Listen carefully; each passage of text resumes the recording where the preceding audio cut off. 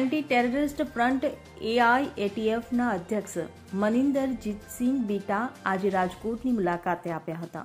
અહીં શહેરના સર્કિટ હાઉસમાં તેમના દ્વારા એક પત્રકાર પરિષદનું આયોજન કરવામાં આવ્યું હતું, જેમાં એઆઈએટીએફના અધ્યક્ષ ઇન્ડિયા ગઠબંધન પર પ્રહાર કર્યા હતા. એઆઈએટીએફના અધ્યક્ષના ઇન્ડિયા ગઠબંધન પર પ્રહાર કરતા એમએસ બીટાસિંઘે જણાવ્યું હતું કે તિરંગાનું અપમાન થાય ત્યારે અમને દુઃખ થાય છે.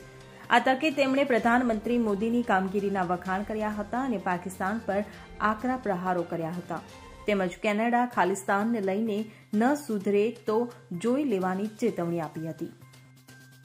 Bureau report, CN twenty four news. હવે જુઓ, દેશ દુનિયાની તમામ ખબરો તમારી આંગળીના ટેરવે. ઉઠાવો મોબાઈલ અને ગૂગલ પ્લે સ્ટોર પરથી ડાઉનલોડ કરો અમારી CN twenty four news mobile app.